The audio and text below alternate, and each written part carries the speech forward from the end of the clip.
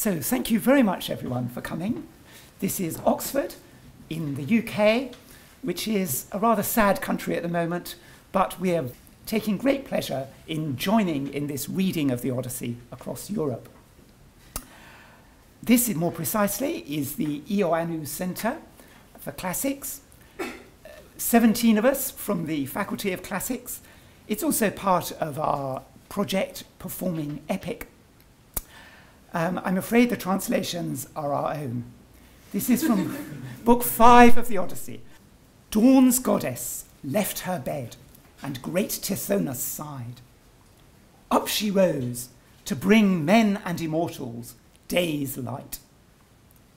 In their council chamber sat the gods, and in their midst Zeus, who makes clamours above, in his matchless power. To these hearers, Athena recounted all Odysseus' sorrows, forgetting none. She felt for him fixed in Calypso's cave. Honoured Father Zeus, and you all, living ever in joy, no more should kings with gladness be gentle or mild as they grip their sceptres. Justice should leave their mind. Let kings forever be cruel and execute terrible acts. After all, not a person remembers Odysseus, like a god as he was. None out of the people he ruled with a father's kindness. No, on an island he lies, mighty griefs, griefs afflict him in the great hall of the nymph Calypso. She by force holds him there. He cannot get to his own country. He has no ships with oars. He has no friends left to go with him over the sea like a beast's broad back.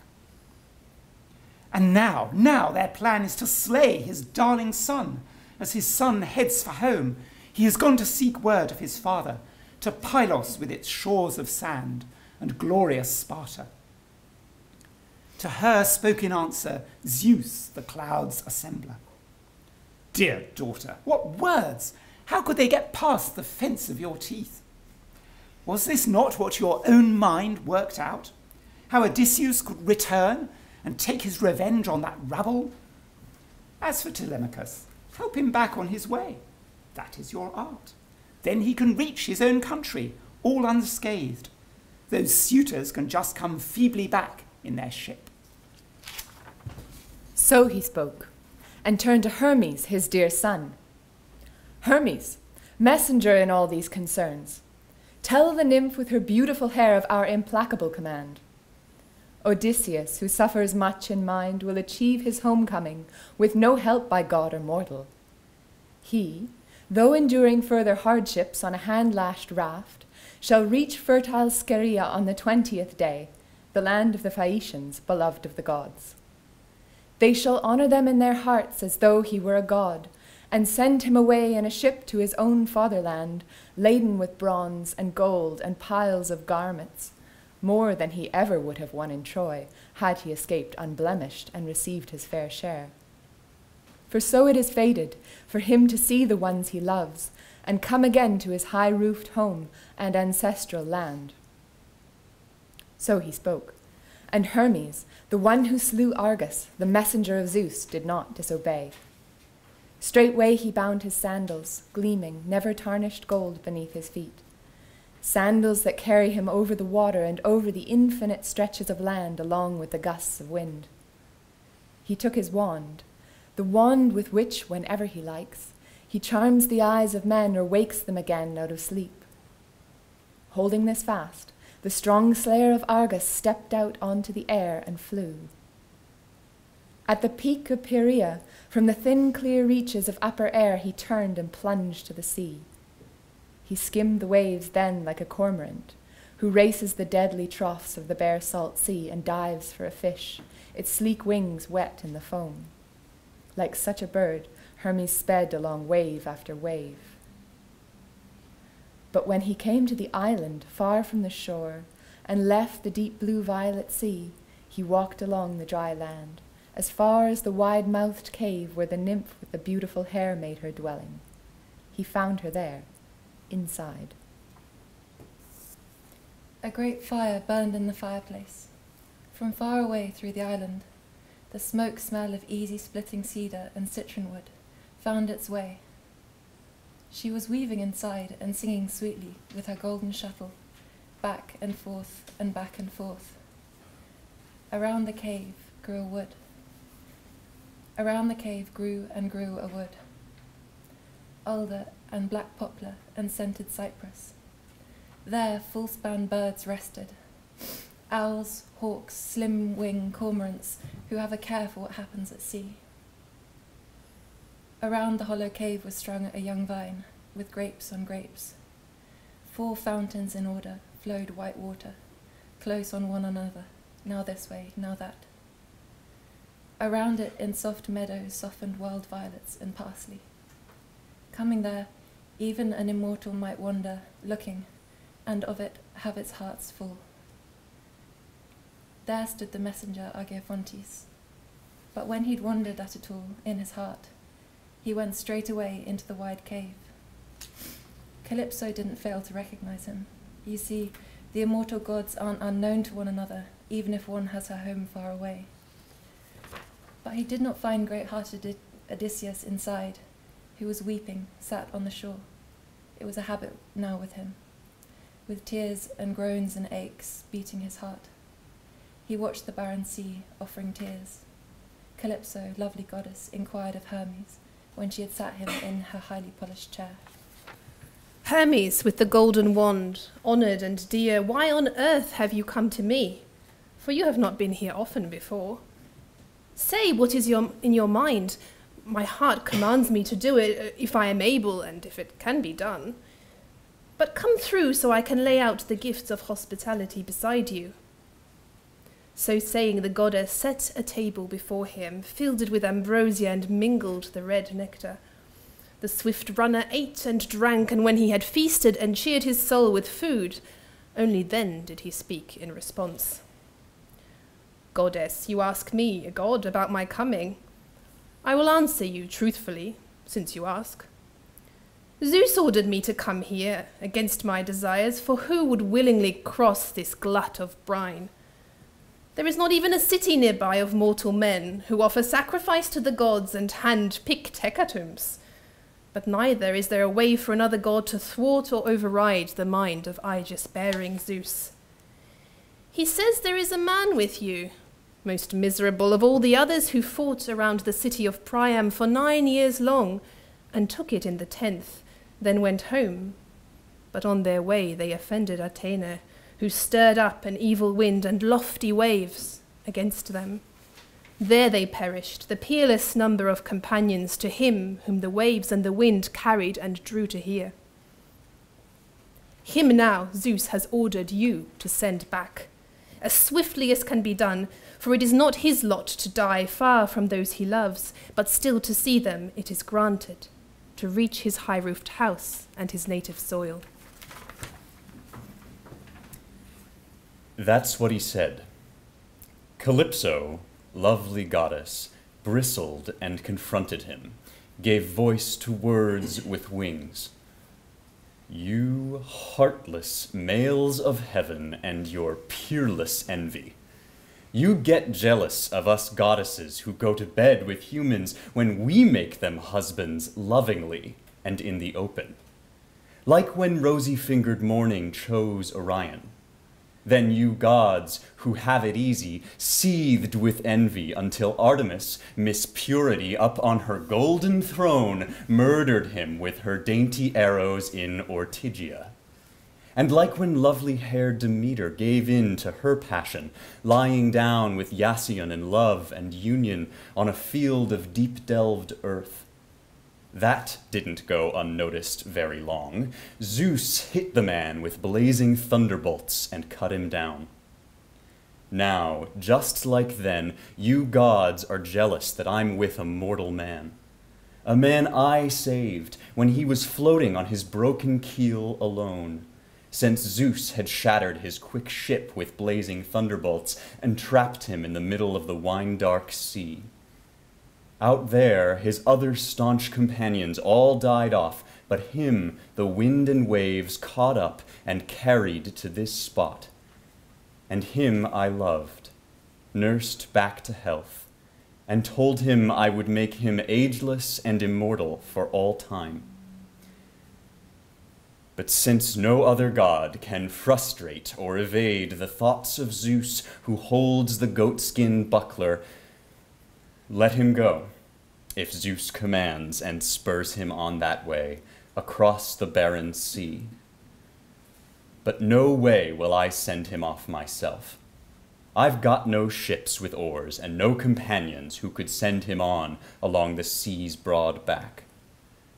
Still, with a ready heart, I'll give him counsel. Keep no secrets from him. Tell him how to find his way back home without a scratch. And so, in turn, spoke the guide and giant slayer. Give him up, Calypso, and beware of Zeus's anger, or he may fume and vent fury on you later.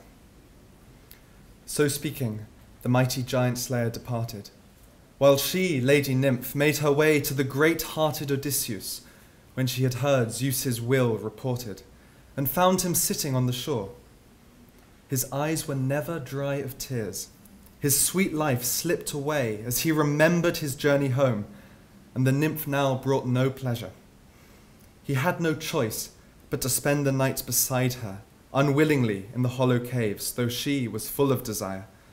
And by day he would sit on the rocks or the sand, and lie there racking his soul with tears and groans and grieving, looking out over the restless sea, endlessly weeping, until the shining goddess came to his side and started speaking. Grieve here no longer, my poor luckless figure, and do not waste away your life, for I shall willingly deliver you home. Instead, take bronze and hew out timbers to fit together in a wide raft, and fasten crossbeams over, such as may carry you safely across the misty ocean.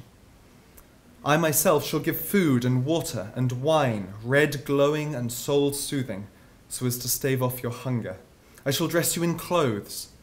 I shall set a fair wind under your sails, so you may return to your native land the stronger. If, of course, the gods who hold wide heaven want this, they are greater than I, both to plan and to accomplish. She finished, and long enduring godlike Odysseus shuddered, then spoke winged words. You have something else in mind, Calypso not my safe passage. If you suggest I test the sea's depth with a raft, the terrible, triumphing sea. Not even stout, even keeled ships can cover it, in all the glory of God's wind. I refuse to submit myself to a raft against your will. If you do not submit your holiness to promise that you will plot no other intrigue and do no more injury to me. So he spoke, and Calypso, the goddess Calypso, smiled. She smoothed him with her hand. She said, You really are a devil. You see straight. The way you get it into your head to say these things. But let the ground and the wide sky above be my witness, and the deepest oath that is possible for us happy gods, the plummeting waters of the Styx that I will plot no other intrigue and do no more injury to you. You should know, though, that my thoughts and feelings towards you are the same as towards myself, were such great necessity to come my way. And my intentions are good. My heart and my breast is not made of iron, it's soft towards you. So the goddess spoke, and she led the way, fast, he trailed in her footsteps. They came to the vaulted cave, goddess and man. The man sat down on a chair, the chair that Hermes had just stood up from. The goddess laid the table, full of good things to eat and drink, the sort of things that mortal men eat and drink. But when she sat down, facing Odysseus, the servants laid out at her place nectar, and ambrosia. They began to eat, reaching across the table. When they were full of food and drink, Calypso, the goddess Calypso, began to speak. Odysseus, descendant of Zeus and son of Laertes, and more skilled than both of them put together, is this really what you want? To slope off back to your dear old home, that land that was your father's and his father's? Look, if that's the case, goodbye. Sail well. But if only you knew the terrible things that would drown your heart before you get there, you'd stay here with me. You'd be guardian of a new land and never die.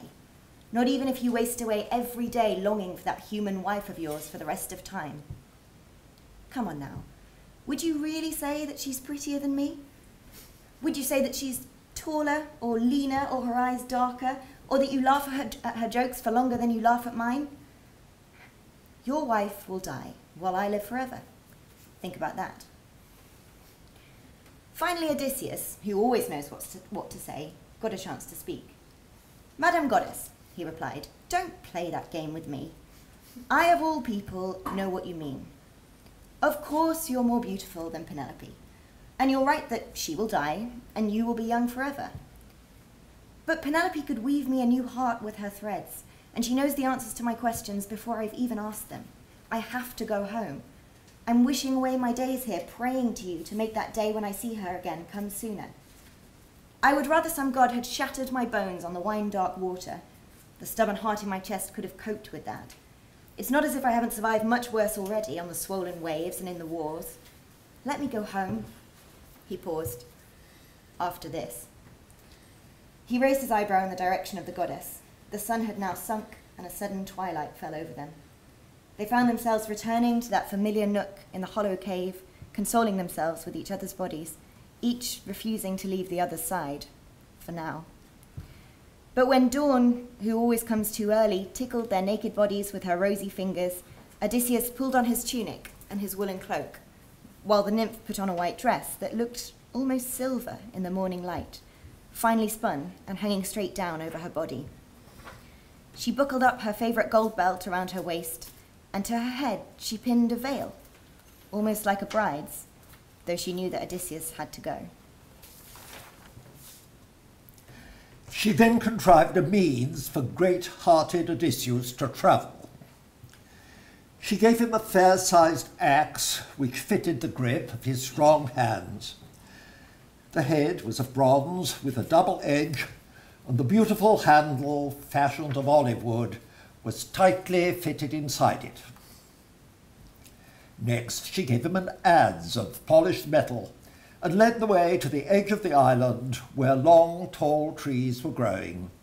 Alders, poplars, and pines that towered as high as the heavens, trees that had lost their sap, well seasoned, and likely to float well. When she had pointed out where the long, tall trees were growing, Calypso, that glorious goddess, returned to her grotto, while he got down to felling the trees, and the work went quickly.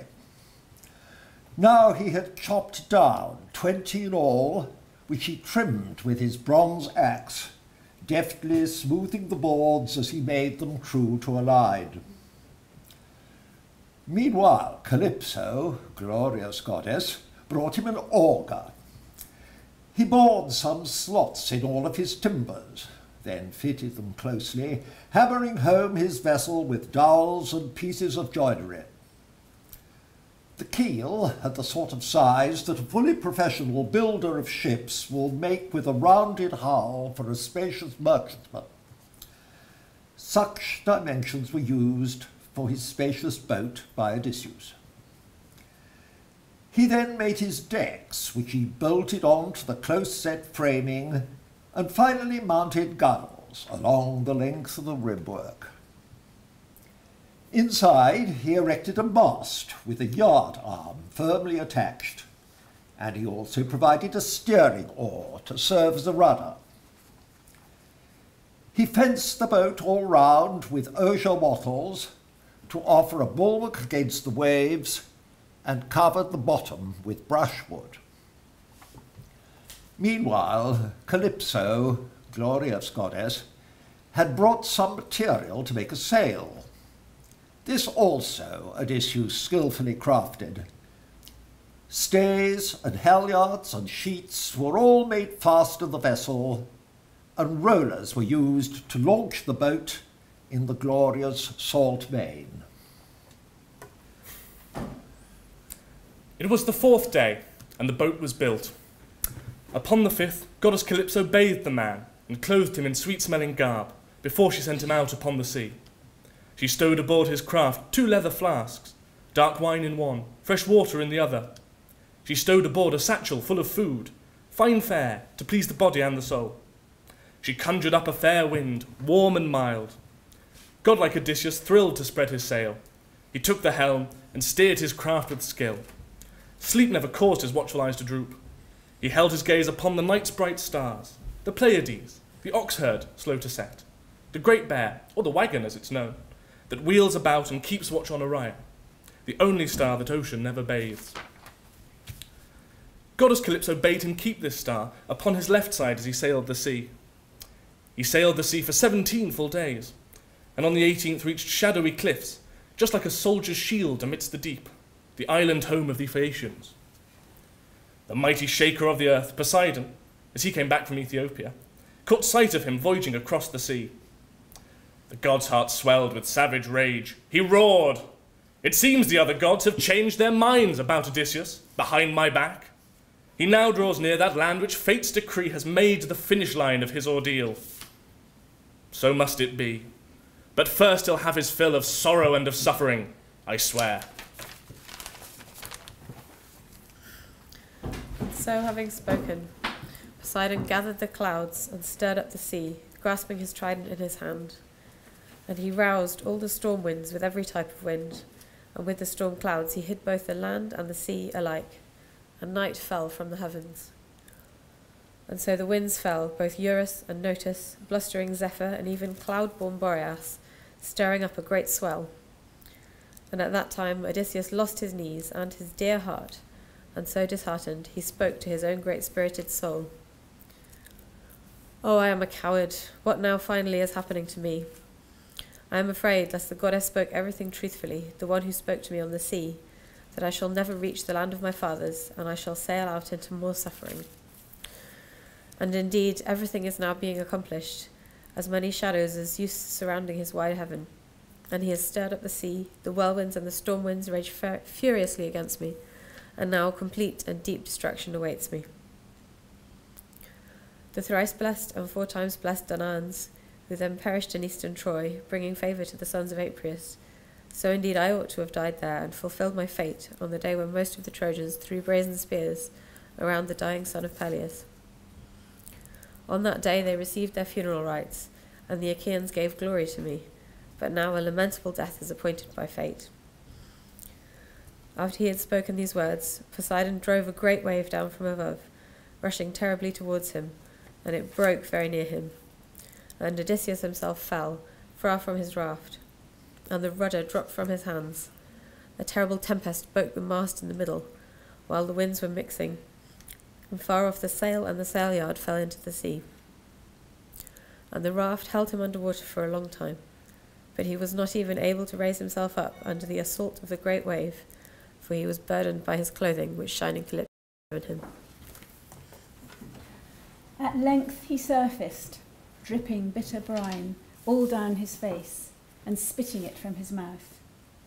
Yet, weakened as he was, he kept his mind on his raft. He flung himself through the waves and grabbed it and settled squarely on it, evading death. A heavy swell pushed it about on the current, this way and that. As when the north wind in the dog days of summer blows thistle heads around on the plain, all jumbled together, so the winds bore the raft along on the open sea, this way and that. Now the south wind tossed it to the north to carry. Now the east gave up the chase to the west.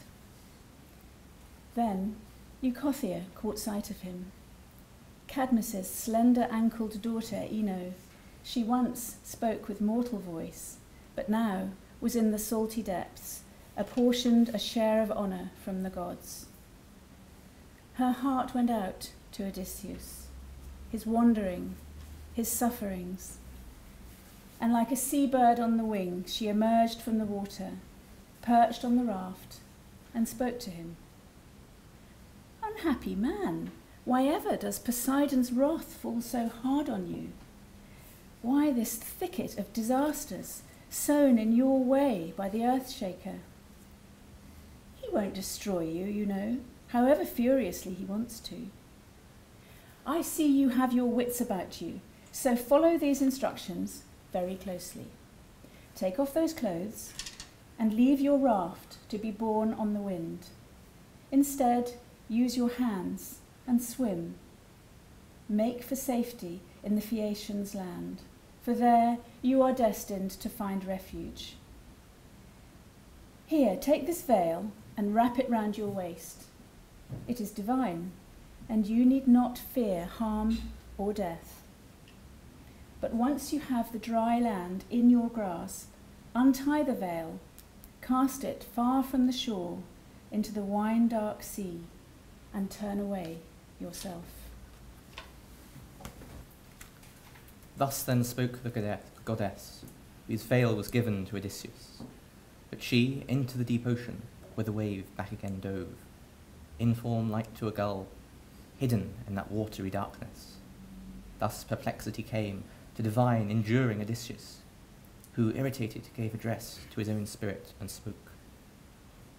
O alas, I fear, lest to come is some treachery woven by this strange goddess, urging me to get off the ship and swim. However, not yet am I convinced. To my eyes, far away, long over the sea, is a land where foretold is my ultimate escape. But hence is how I'll now act, for this plan appears best. Whilst all beams of the raft fitted in the sockets stay, I'll be on the deck and endure though through sufferings great.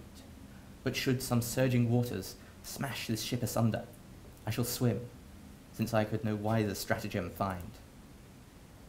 Whilst Odysseus was then mulling over this in spirit and mind, the great breaker Poseidon sent, Lord, shaker of the ground, grievous and mighty, towering, then drove it upon him, like agitated and stormy winds can rattle heaped chaff, all dried out, and then scatter it hither and thither askew. So it did scatter the great beams freely, and yet Odysseus bestrode one of the beams, as if astride some stallion swift, stripped off his raiment, that given by holy Calypso, and that veil round his chest he knotted at once. But he himself plunged head first down into the ocean, eager for the swimming. But that god, shaker of the ground, did see, and nodding these words to his spirit addressed. Now suffer umpteen ills, whilst wandering over the ocean, till you mingle again with men whom Zeus cherishes much. For miseries, thou shalt not be contemptuous of these. So he speaks. He puts his fine maned team of horses to his whip. He comes to Iga, where his renowned palaces place themselves. But Athena, Zeus's daughter, notices. She binds down the pathways of the other winds, latches, informs them that they are to stop. She sends them all to sleep. She raises swift Boreas, flattens the waves in front of Odysseus. She ensures he will be among the Phaeacians, famous for their skills with oars. Odysseus, divinely appointed, king, escaping death and the fates. From there, two days, two nights, on a swelling moment of wave, he is lifted, scattered, this way, this way, and many times in his heart he sees ahead of himself his own heart end, a few days maybe. But then, dawn, bright haired, lifts the third day, and the wind stops. There is a calm. He sees, lifted on a swell of moment, where the sea raises opportunely, using that to look as far as he can, and he sees ahead, near ahead of himself, land. And survival to children, as their father in his bed fevers, lying at death's door, suffering terrible, dreadful pains, is released. The hateful divinity who has been assaulting him in the air around his bed changes to the gods release him. Land, tree appear in this way welcomely to Odysseus. Swimming, he pushes to get his feet to dry land, and he is as far as a shout is. A crash smashes against the rocks. Thunder, a great wave belching up terribly against the dry land. Everything is lost. Mist of the spray. There aren't harbours, there aren't inlets, but everything sharp, throwing down, juts of cliff, jag up bits in the sea, spike. Then Odysseus gives up. His knees release in the water under him. His heart gives in. And he speaks to himself. Alas, just as Zeus has given my eyes a glance at land, beyond my wildest dreams, and I have driven my body scythe-like right across these depths. Now it seems all routes of stepping from this grey grizzled sea have gone, vanished beneath knife-sharp rocks and the bellow of breakneck waves, that hiss around me as they thrash against the cliff face, and then run back down its smooth, polished slope. Even the shallows close to shore are deep, shutting off all chance of a foothold. My misfortune is like this ocean, inescapable. What are my options? Suppose I tried to clamber up the cliff and then a squall picks me up and splays me on the stones, turning all my floundering to air. Or suppose I swim yet further up the shoreline to see what entrance the shallow sandbank or a cove might afford me, and then another wave plucks me and hands me over to the depths to lick my wounds again. Or suppose a godhead releases something from the benthic regions, like the lamniform shapes that Amphitrite breeds. At least this much I know. The sea god is angry with me, very displeased. While Odysseus was turning these things over in his heart and in his gut, a great swell picked him up and stretched him over the jagged escarp, and then and there his skin would have cleaved from the flesh, and his bones rearranged themselves, if Athena, with her eyes like seals, had not impregnated his mind with the flash of wit, sharpening his neurons. Buffeted, he wrapped both hands around the rocks and held on with whimpering tenacity. The wave put its arms around him and passed by. He thought he was safe, but after it had hit the shore, the wave turned back and the rebound lifted him, struck him, sucked him out, and plunged him far from land. It was not a pretty sight. Imagine, if you will, an octopus being wrenched from its nook in the sand with its tentacles still filled with a thicket of pebbles. As such, flecks of skin from Odysseus's burly hand speckled over flint, decorating the rocks, and the waif engulfed him fully, hid him. Long-suffering Odysseus would have been shattered beyond his fate, despite the story, had Athena not impregnated his mind again with a flash of wit, sharpening his neurons. But he pulled himself from the surf, roaring as it was against the mainland, and he swam outside of it, training his eyes on the shore in case he happened to spot a gentle sloping beach or some refuge from the sea. And when he came swimming up to the mouth of a river, a sight for sore eyes, it seemed to him the best place that ever there was, with smooth stones and shelter from the wind. And he recognized that river and prayed from the bottom of his heart, Listen, sir, whoever you are, I've been praying to find someone like you. Hide me from the sea-born wrath of Poseidon. Even you gods are supposed to feel for those of us who wander, and that's me, right now. I've been through hell, and here I am at your stream, at your knees. Dear God, please pity me. I promise I'll submit myself to you. That's what he said. And right away the god stopped his stream, flattened out the waves, and calmed the sea in front of him. He rescued Odysseus, bringing him to the mouth of the river where his knees buckled and his sturdy hands fell to the earth. You see, his very soul has been, had been bowled over by the sea, and his whole body was bloated, and the ocean still roared up through his nose and mouth, and he lay back, breathless, speechless, strengthless or near to it, and tremendous weariness came over him. But when he gasped awake and his soul rushed back into his heart, then he took off the goddess's veil and dropped it into the seaward flowing river, where a great swell bore it back down the stream, and Ino snatched it up in her dear hands. But Odysseus got up from that river, stumbled amongst the reeds, and kissed the fertile grain giving earth, and shaking in his body and his great hearted spirit, he spoke aloud to himself. What do I have to endure? What's to become of me? If I wait and face the hazards of night down here by the water, then the bitter chill and drench of dew might be the death of me, weakened and worn out. And it's an icy wind at first light that springs up off the river. But if I clamber the bank to the dense cover of woods and settle in thick undergrowth, clear of the biting cold and the jaws of exhaustion, and sweet sleep subdues me, then my fear is to fall prey to the claws of wild creatures.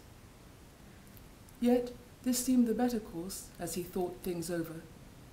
So he made for the woods and came upon a thicket by a clearing close to the water.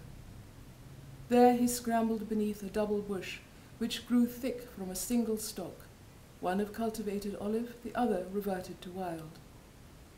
The strongest gusts of winter wet could not reach there, nor the blazing rays of brightest sunlight filter in, nor could thunder showers soak through, so thickly were they intertwined together. Under there Odysseus crept. And with his hands he gathered a good broad bed, for there were heaps of fallen leaves, enough to cover two men, even three, however harsh the winter weather. Much enduring Odysseus was gladdened to see this lair. He lay down in its midst, heaping leaves over himself. Like a man who lives on outlying land, a place with no neighbors near, he will bury a glowing log under a mound of dark ash to conserve the seed of fire, and not to have to fetch fresh flame from elsewhere. That way Odysseus enveloped himself with leaves. And Athena poured sleep upon him to fast set him free from the toll of his tiredness. It lightly enfolded his eyes.